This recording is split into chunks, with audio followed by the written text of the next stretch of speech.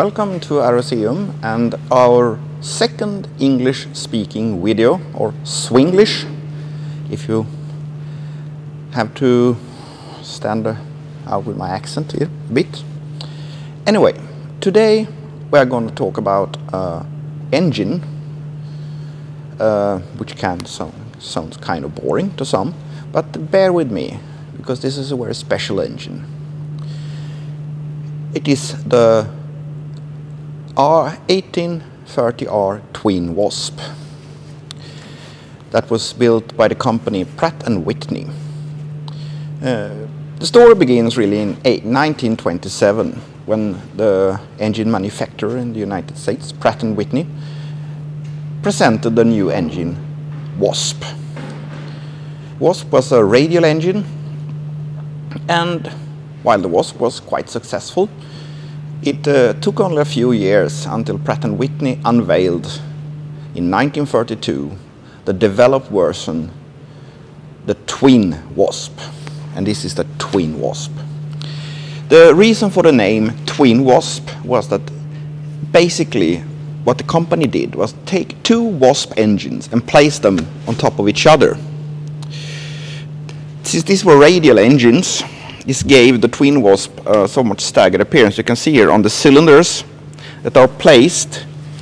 If you look, come forward here, you can see there's here. Basically, I have the first row of cylinders going here, and here behind the second row of cylinders come overlapping in a zigzag pattern. So you can say there is two wasp engines put together, and therefore the name twin wasp. The twin wasp came to be one of the most one of the most important aircraft engines in history. Maybe not the most famous, but very important. Very important. And over 179,000 of these were produced. And the most famous aircraft to carry this engine was the revolutionary Douglas DC-3 passenger and transport aircraft.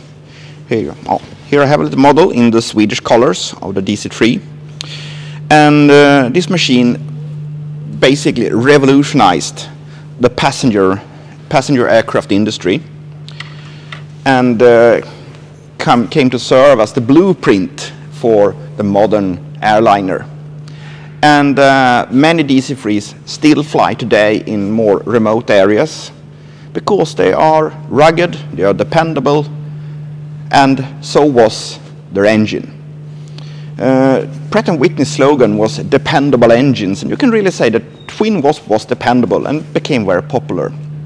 During the Second World War, several of the heavy Allied aircrafts, for example the US B-24 Liberator bombers, used the Twin Wasp. So the engine clearly earned its place in history. However, there is a Swedish connection to the Twin Wasp that is not so well known, and that is what I'm going to talk about more. You see, in the early days of the world, Second World War, Sweden had realized that it was in a pretty bad position. Uh, aircrafts had turned out to be very important, and the Swedish fighter defense was mediocre.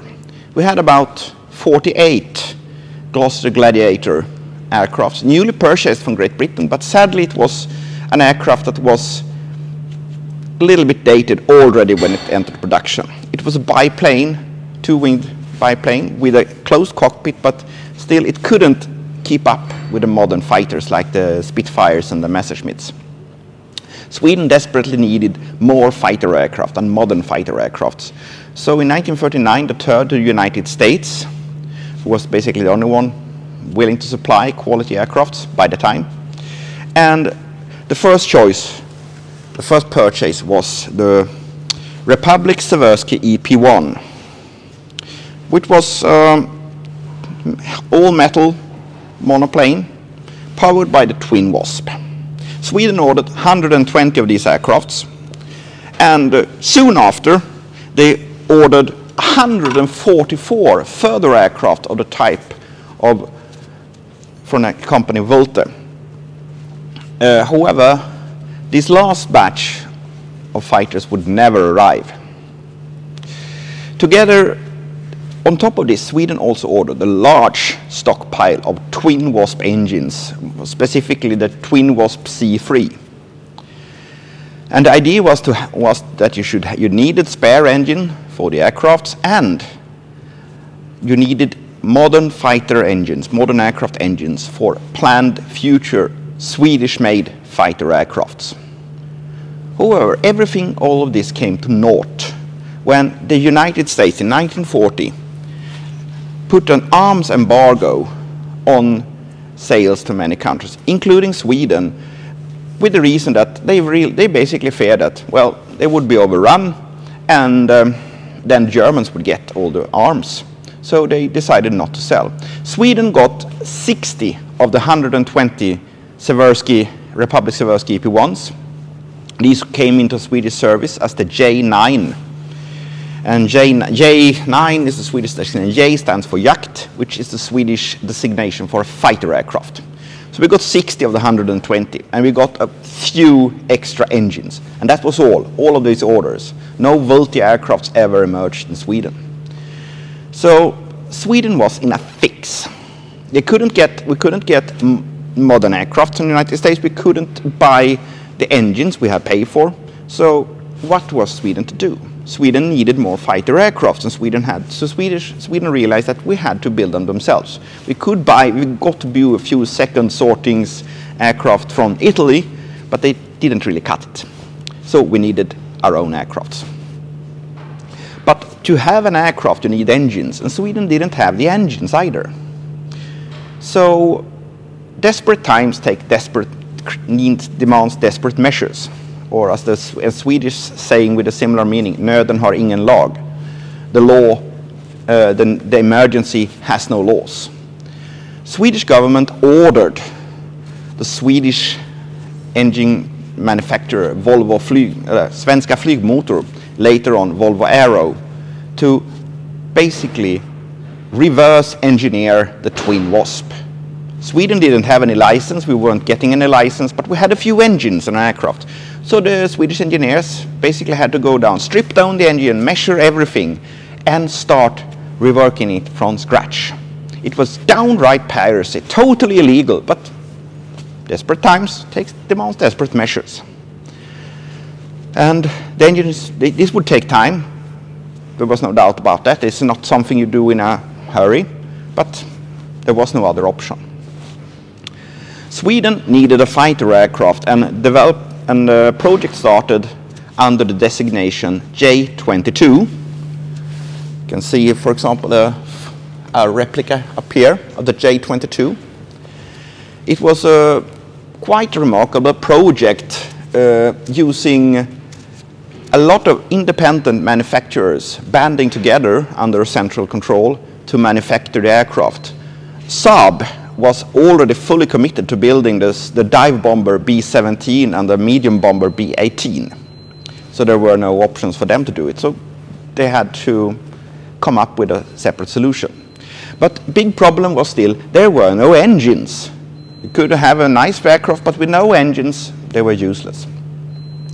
So Sweden, and while waiting for the Svenska Flygmotor engineers to, to have success with their piracy, Sweden went shopping abroad and started looking. It turned out that Nazi Germany had captured a stockpile of uh, twin Wasp C3s engines from the French Air Force during the invasion of France 1940.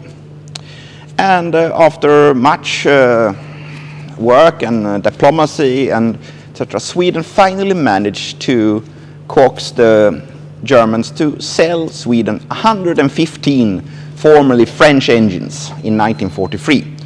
Probably the Germans thought that, well, those engines are a bit dated now, so we can may as well sell them to the Swedes and get some iron ore.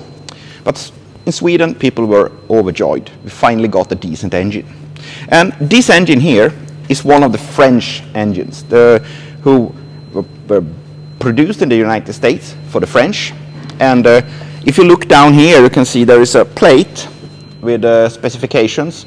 And it says that it's Pratt & Whitney signed engine, but there is also the specifications are in French. So that means we know this is a French engine. And these 115 engines arrived in 1943, and they were key to allowing Sweden to finally start producing the J22. However, 1942, the year before, Svenska Flygmotor had already managed to make a successful test run with their own home-built twin Wasp, or as it would become to be known, STV C3, Swedish Twin Wasp C3. And uh, true to their standards, the engineers had managed to tweak the engine to be better than the original. And uh, so the Swedish Air Force while receiving the first, the French engines, also ordered over 500 engines from Svenska Flygmotor in 1943. And these engines were to be used for the J-22 and also for the future B-18 medium bomber.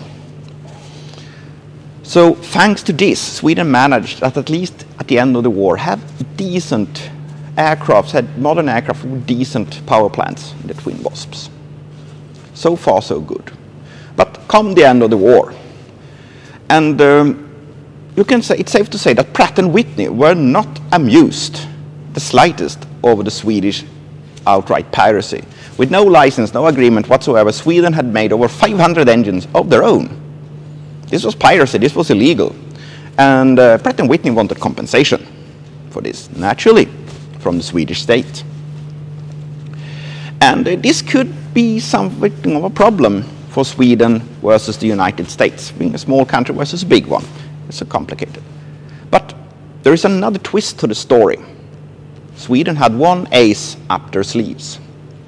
And this was, this story went back to 1941, when the Swedish arms manufacturer Bofors had sold a license to the United States to produce their excellent Bofors L60 40mm anti-aircraft gun in the United States, as I said, under license for the need of the American armed forces.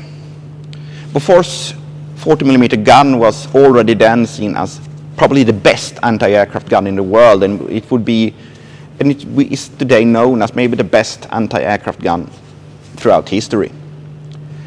And, uh, but the thing was that already in 1941, when the papers are signed, the United States start distributing American-made Bofors guns to Great Britain and other allied powers during, on base of the Lend-Lease Act, which the US used to, before America officially entered the war, to be able to supply arms and uh, weapons, aircrafts and ships to Great Britain, for example, in exchange for other things.